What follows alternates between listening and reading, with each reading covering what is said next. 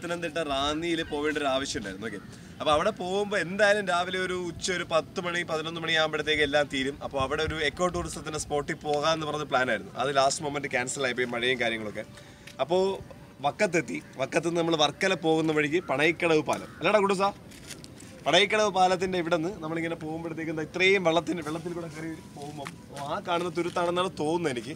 അവിടെ ഒരു കുഞ്ഞ് അമ്പലമുണ്ട്. അപ്പോൾ ഇതിലേക്ക് കടത്തില്ല ഇതിലേക്ക് പോകാനായിട്ട് it's a beautiful journey and ഈ ഒരു വെള്ളത്തിലൂടെ ഒരു പത്ത് പതിനഞ്ച് മിനിറ്റ് യാത്ര.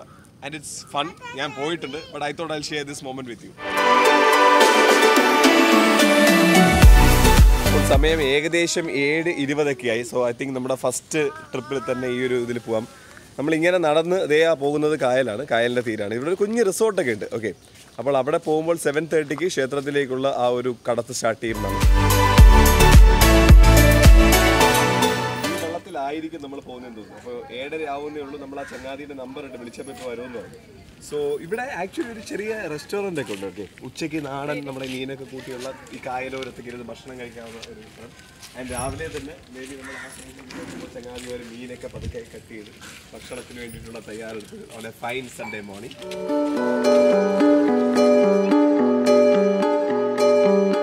കൊള്ളാ കൊള്ളാ. ഏ?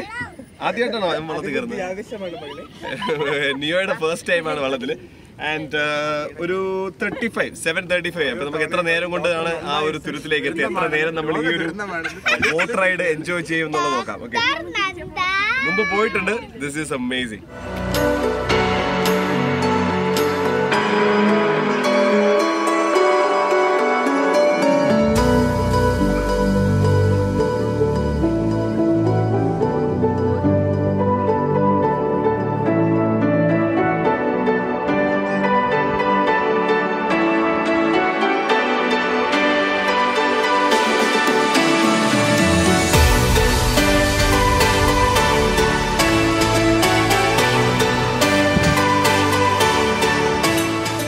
motor boat അല്ലാത്തത് കൊണ്ട് we are going very slow വെയിൽ വന്നിട്ടുണ്ട് പക്ഷേ എങ്കിലും ഇറ്റ്സ് ബ്യൂട്ടിഫുൾ പതുക്കെ ഈ പുറ- പറയുന്ന പോലെ നമ്മൾ പ്രകൃതിയുടെ ആ ഒരു കണക്റ്റൊക്കെ ആയിട്ട് ഈ കാണുന്ന സ്ഥലമാണ്. പക്ഷെ എനിക്ക് തോന്നുന്നു നമ്മൾ ഇവിടെ ആയിരിക്കില്ല. ഇവിടെ അല്ലല്ലോ കേട്ടോ അപ്പോൾ അപ്പുറത്തെ സൈഡല്ലേ അപ്പുറത്തെ സൈഡാണ് അപ്പോൾ ഇങ്ങനെ ഇതിന്റെ ചുറ്റി അപ്പുറത്തെ സൈഡിലാണ് നമ്മൾ പോയി ഇറങ്ങുക.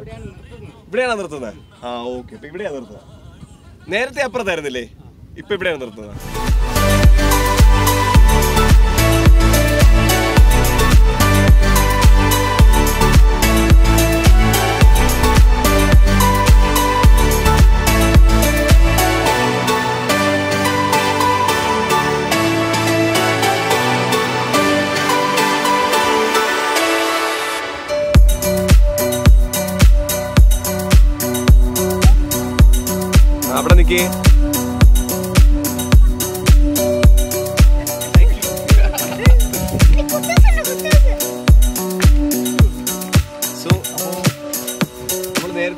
ഇറങ്ങിയിട്ടുള്ളത് ഈ ഒരു തുരുത്തിന്റെ അപ്പുറത്തെ സൈഡിലാണ് ഒരു കുഞ്ഞ് തുരുത്താണ്. ആൻഡ് ഇവിടെ ഒരു ക്ഷേത്രമുണ്ട്. ഒരു ചെറിയ പിള്ളേരുടെ പാർക്ക് ഉണ്ടായിരുന്നു തോന്നുന്നു പണ്ട്. ലെറ്റ് സി കം സി ആ മരത്തിന്റെ മുകളിൽ കയറി ഇങ്ങനെ നിൽക്കാവുന്ന അല്ലെങ്കിൽ വെറുതെ വൈകുന്നേരം കുറച്ചേരം ഇരിക്കാവുന്ന രീതിയിലുള്ള ഒരു സാധനമുണ്ട്. അവിടെയുണ്ട്. മിക്ക മരങ്ങളിലും ഇതുപോലെ ചുമ്മാ കയറി നിൽക്കാവുന്ന അല്ലെങ്കിൽ കൂട്ടുകാർക്ക് കയറി എൻജോയ് ചെയ്യാവുന്ന maybe for a selfie ഒക്കെയുള്ള സ്ഥലങ്ങളൊക്കെ ഉണ്ട്. ഇവിടെ ആക്ച്വലി ശിവരാത്രിയുടെ അന്നാണ് മൊത്തം വിളക്കൊക്കെ വെച്ച് ആൾക്കാർ മൊത്തം ഈ ഒരു കുഞ്ഞ് ഐലൻഡ് നിറയും. എന്നൊന്ന് ആലോചിച്ച് നോക്കുക ആ ഒരു പാലത്തിൽ നിന്ന് നമ്മൾ നോക്കുമ്പോഴത്തേക്ക് മൊത്തം ഇവിടെ ലൈറ്റ്സ് ഒക്കെ ആയിട്ട് Shivaratri is gonna be great fun here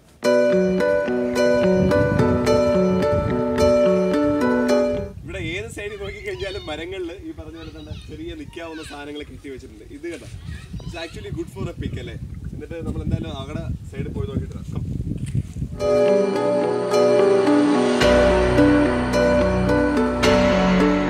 ചെറിയൊരു ഊഞ്ഞാൽ. അത്യാവശ്യം വലിയൊരു ഊഞ്ഞാൽ. അത്യാവശ്യം വലിയൊരാൾ. അത്യാവശ്യം വലിയൊരാൾ.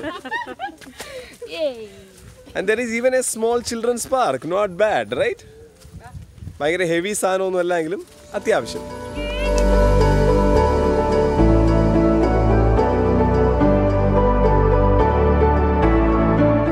കുറച്ചുകൂടെ രസമുണ്ട് എന്ന് വെച്ച് കഴിഞ്ഞാൽ നമ്മൾ നേരത്തെ അവിടെ വന്ന് ഇറങ്ങുമ്പോൾ ഡയറക്റ്റ് ആ അമ്പലത്തിന്റെ സൈഡിലേക്ക് കയറാം. ഇവിടെ കുറച്ചും കൂടെ നടക്കാനുള്ള സ്ഥലമുണ്ട്. കാണിച്ചു തരാം.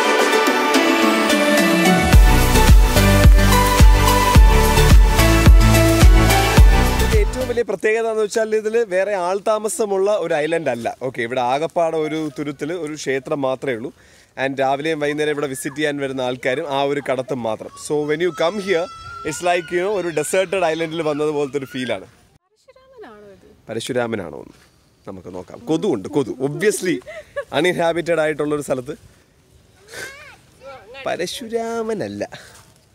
ഒരു ചെറിയൊരു സമ്പടി ഒരു പ്രതിമ.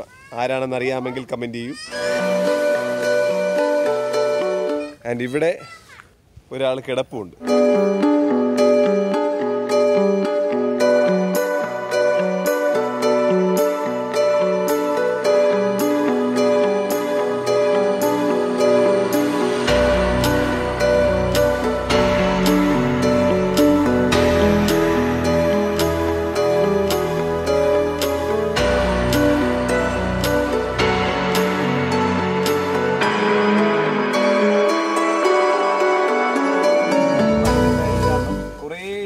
ഡിഫറെന്റ് ടൈപ്സ് ഓഫ് ചെടികളുണ്ട്. ഒരു ബോട്ടണി ഒക്കെ പഠിച്ച ആൾക്കാർക്ക് ഇൻട്രസ്റ്റിംഗ് ആയിരിക്കും. കുറേ നേരം ഇവിടെയുള്ള ചങ്ങാതിമാരുമൊക്കെ ആയിട്ട് സംസാരിച്ചു. വളരെ രസകരമായിട്ടുള്ള ഒന്ന് രണ്ട് സംഗതികൾ കിട്ടി ഓക്കെ ഒരെണ്ണമെന്ന് വെച്ച് കഴിഞ്ഞാൽ ആക്ച്വലി ഇപ്പോൾ എനിക്ക് തോന്നുന്നു ഈ ഒരു ഐലൻഡ് ഈ ഒരു തുരുത്ത് ഏകദേശം ഒരു അഞ്ച് ഏക്കറിന്റെ അകത്ത് വരുന്ന സ്പേസ് ആണെന്ന് തോന്നുന്നു നാലഞ്ച് ഏക്കർ. പക്ഷേ പണ്ട് ഇവിടെയുള്ള കൂട്ടുകാർ പറഞ്ഞ ഏകദേശം ഒരു പതിനാല് പ്ലസ് രണ്ട് പതിനാറ് ഏക്കറോളം ഉണ്ടായിരുന്നു ഈ ഒരു സ്ഥലം. അപ്പോൾ ഇതിന്റെ ചുറ്റുന്നൊക്കെ കുറേ ചങ്ങാതിമാർ മണ്ണൊക്കെ ഊറ്റി തുടങ്ങിയിട്ട് അപ്പോൾ ആ ഒരു താഴെ നിന്ന് മണ്ണ് പോകുമ്പോഴത്തേക്കും വെള്ളം കയറുകയും പിന്നെ ഇത് ലൂസ് ആകുമ്പോഴത്തേക്ക് ബാക്കി മണ്ണും കൂടെയൊക്കെ എടുത്തുകൊണ്ട് പോയിട്ട് അങ്ങനെ മനുഷ്യന്റെ ഒരു സെറ്റപ്പ് കാരണം ആക്രാന്തം കാരണമാണ് ഇപ്പോൾ ഈ ഒരു എന്താ പറയുക ഒരു പതിനാല് ഏക്കറോളം ഉണ്ടായിരുന്ന ഒരു തുരുത്ത് ഒരു കുഞ്ഞ് ഐലൻഡ് ഇപ്പോൾ ഏകദേശം അതിന്റെ ഒരു മൂന്നിലൊന്നോ നാലിലൊന്നോ ഒക്കെ ആയി മാറിയത്. അപ്പോൾ ഇപ്പോൾ എനിക്ക് തോന്നുന്നു ആ ഒരു വിവരം വന്ന് അതൊക്കെ നിർത്തി വെച്ച് കാണും. ഇല്ല എങ്കിൽ maybe പുഫ് in like fifteen years time അല്ലേ?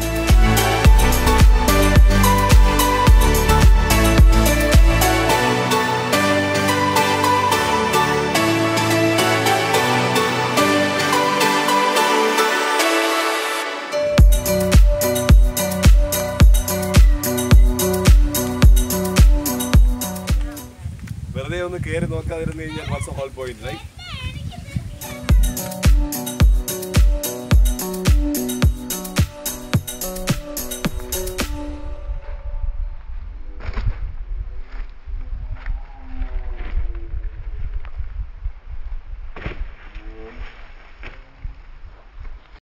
അങ്ങനെ നമ്മൾ ഈ ഐലൻഡിൽ നിന്ന് തിരിച്ച് പോവുകയാണ്. നമ്മൾ നേരത്തെ വന്നപ്പോൾ ഓൾമോസ്റ്റ് ഒരു സിക്സ്റ്റീൻ ടു സെവന്റീൻ മിനിറ്റ്സ് എടുത്ത് കേട്ടോ ഞാൻ ക്ലോക്ക് ചെയ്തപ്പോൾ. ഫോൺ മാറ്റുക.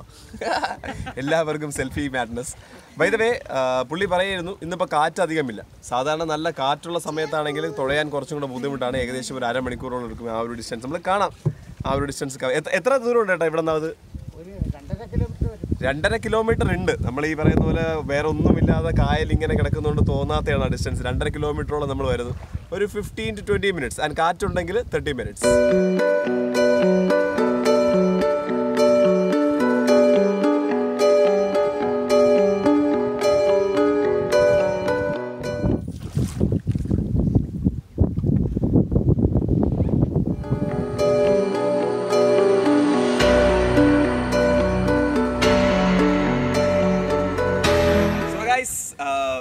തിരിച്ചു വരുന്ന വഴിക്ക് ആക്ച്വലി ബോട്ടിൽ ബോട്ടിലിരുന്ന് ഒരു ഫേസ്ബുക്ക് ലൈവ് പോയി. അതുകൊണ്ടാണ് ബാക്കി അതിന്റെ വീഡിയോസ് എടുക്കാൻ പറ്റായിരുന്നത് but it was good fun കുറേ നമ്മുടെ ഈവൻ കണ്ണൂരിൽ നിന്നൊക്കെ ഉള്ള കുറേ കൂട്ടുകാരും കോഴിക്കോട് നിന്നുള്ള കൂട്ടുകാരും ഒക്കെ ആയിട്ട് ആ ലൈവിൽ കണക്ട് ചെയ്യാൻ പറ്റി.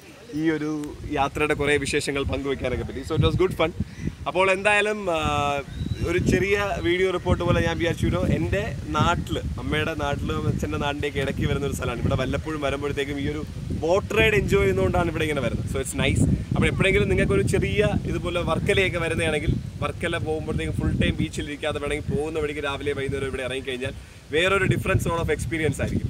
And I think I have shared those numbers എല്ലാ ഡീറ്റെയിൽസും എല്ലാം ഉണ്ട്. പണയിക്കടവ് പാലത്തിൽ വരിക. അവിടെ തന്നെ ഇവിടെ ഒരു കടത്തുണ്ട്. അവിടെ കൂടെ നിങ്ങൾക്ക് ഈ ഒരു ഡിസ്റ്റൻസ് ഒരു ട്വന്റി തേർട്ടി മിനിറ്റ്സ് ഒരു മണിക്കൂർ എടുക്കും എല്ലാം കൂടെ പോയി വരാനൊക്കെ. ബട്ട് ഇറ്റ്സ് വർത്ത് ഇറ്റ് മനസ്സിന് ഒരുപാട് സന്തോഷം തരുന്ന രീതിയിൽ നമ്മൾ ഫുൾ പ്രകൃതിയുമായിട്ട് കണക്റ്റഡ് ചുറ്റും പച്ചപ്പ് നല്ല water it's amazing ride hope you guys enjoy bye